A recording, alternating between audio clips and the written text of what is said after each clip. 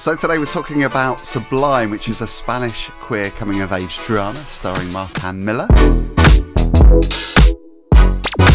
Sean Vickers is here. My name is Phil Marriott. Thank you very much for watching. I'm just lolling about what a surprise here we are talking about a gay coming of age story. At Flare, I always watch all the shorts, and the shorts generally seem to always be coming of age stories. And you watch I'm not going to be damning, but less of the shorts. And so, yeah, here's a coming of age story. I don't watch enough shorts. I should do, I should try harder. I must do better next year. year. I'm gonna every year Sean shorts. Do every year. You're always like, haven't seen any of them, Sean. What do you think?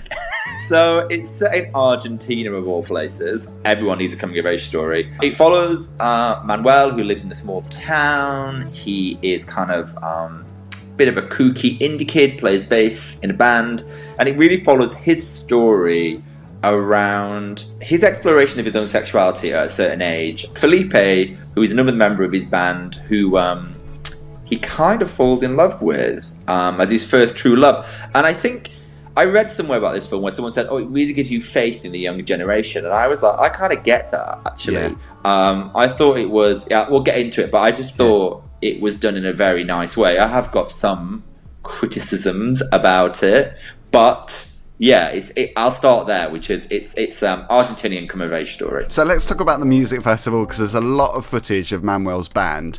Kind of new wave, like you say, he's a bit of an indie kid, and I was getting the Jam and the Cure vibes because there's one song that they rehearse, and it seems to be over and over. You're pretty there, mm-hmm. pretty much there in the rehearsals, all of them, um, before they mm. play the song at the end in full. Um, but it was like Boys Don't Cry. It was the it was the same riff as Boys Don't Cry, and I'm I'm thinking to myself, Robert. Smith is going to be there, you know, filing his lawsuit. But I thought the music was great in this, and it felt very genuine. It felt like these were proper indie kids. It wasn't just like fake wannabes. It felt felt really authentic to me. Yeah, yeah. I, listen, I like that. I mean, I that's part of my journey through music. You know, um, as I think about me doing my GCSEs, A levels, and the start of university, I was very much that indie kid. So I can yeah. relate to that kind of. Like, I can relate to it, and you're right. There are, I'm going to say, a lot of um, sessions where they're practicing as a band, much I think to its detriment.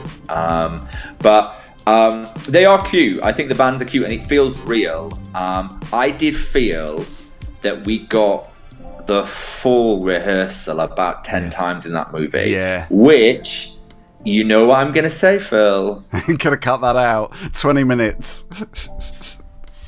I'm going to go beyond that. I don't. I think you could cut more than 20 minutes. I think this would make an amazing short.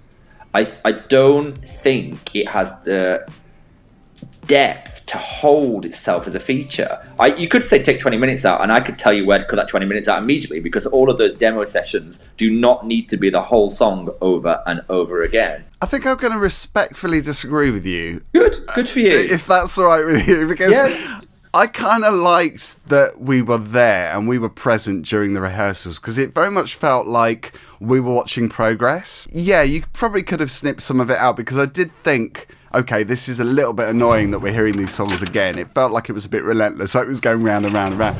But then I thought about that and I thought, well, I kind of like it because it does feel like we're there during the moment. And it very much felt like it was a bit fly on the wall, like it was almost improvised in a way. I don't, I don't know whether it was. I don't think it was because it, it felt, you know, I think it was scripted. But I kind of like that. It made it made the experience feel a bit more believable.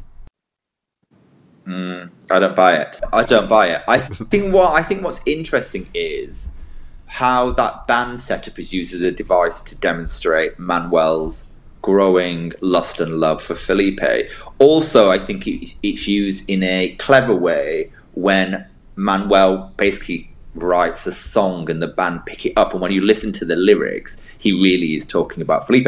I think that bit is cute. Don't come for me. I think that's actually really cute. There's a lot of it which I think is filler in the band section. Don't at me or at me that I don't buy into. I like the interplay with his girl, girlfriend and ex girlfriend Azul. I like how that worked. I like how he had allies in his group that were very nonplussed. And he is, you know, his father at some point was like, it's okay to have feelings. Oh, like, his father was so adorable. father was so adorable. Like, so for me, I go back to that the thing I started with, which is I do think it gives hope and faith for this younger generation who were just like, okay, that's who you are. How do we support that? What do we do? It's not this big like his coming out was a bit like a. Uh, it wasn't some big. The doors fly off the closet and off the hinges. It was just more of a. This is who I think I am, and everyone was like, "Cool, let's let you should explore that." You know I mean? And I thought it was lovely. When you think about the story, I think that's probably why it wasn't this big explosion because mm. there's a lot of disappointment, there's a lot of anguish and a lot of sadness in this, and I think it accurately portrays, you know, young people, young queer people going through those emotions. Of course, but uh, it is accurate in a way because many people in their teenagers, when they're teenagers, fall in love and have unrequited love. They fall in love with someone that they can't have. That's them going through you know, growing and maturing and, you know, a whole bunch of things happening both physically, mentally, spiritually to that individual. So I think you get that in the film. As I say, you can go two ways with this, right? We could have watched that as a short and gone, I wanted more, which we have done in many in many short films we've watched. Well, I have watched, you have watched some.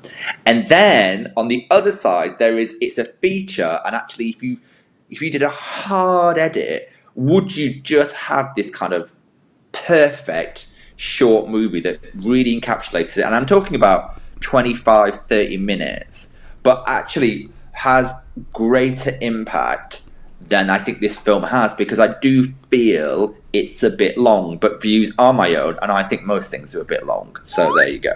It's funny you mentioned the girls because every time the girls kept coming into frame, like part of that storyline, and it's you know obviously a, storyline that we all know, um, especially when you think about you know experiences with this you know opposite sex uh, isn't necessarily your thing. But the girls kept coming coming into frame, and I was just like I was frustrated because I kept I kept wanting them to go, which is awful because the girls are brilliant. But as part of his you know his story, I didn't want them there because I wanted him to concentrate on Felipe, and obviously you know there's some of this story that we can't talk about, but I yeah, I, I, I kind of felt that frustration like he did. One thing I would call out is I they're not professionally trained actors, so I, I will give them the benefit of the doubt, and that might be why you get a lot of band filler because they are probably kids, musicians, whatever. So they're not professionally trained, and because of that, I think they do a really fantastic job. You know, I do think you get a rawness to the story. You know, there's the bits where Manuel kind of fantasizes the dream sequences, yeah, dream sequences, which I also really like because that's something that happens when you're a teenager. Do You think about these scenarios that could that happen? Would that happen? And I like that too. So I generally think a lot of it is really. I'm going back to it. Like really good. I think they've laid in a whole bunch of great stuff. My gripe, personal gripe, I would repeat myself, is the band stuff. I think it had the potential to be a four star short, and I think it was a three star long play. Oh, okay. I'm going for four. I thought it was really endearing. I thought it was really well played out. The rehearsals, I think, were part of that journey, so they didn't bother me that much, but I think we could have heard different songs, perhaps, as part of that footage because I quite liked seeing them all jam, and it did feel like I'm guessing they were real musicians. Did you watch X Factor?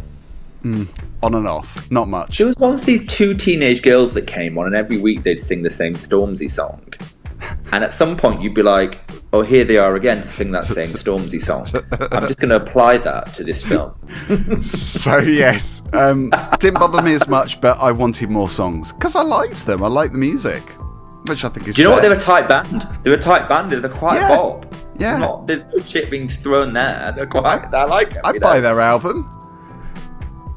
Yeah. If, I, I, quite like Boys Don't Cry. Anyway, it wasn't Boys Don't yeah, Cry, but yeah, yeah, it did sound like Boys Don't Cry. Anyway, that's my, my gripe out of the way. But yeah, Sublime. It's on DVD and on demand uh, from the 6th of February. It's a Peccadillo Pictures title, which hmm. we've reviewed a lot of, quite a lot. Loads of them. Yeah. Yeah. Thank you for watching as always. Thank you, Sean. Don't forget to like and subscribe. If you liked this, by the way, we've got another review on the screen now, which you'll probably like as well. So go over there and watch it. Do as you're told. See you later.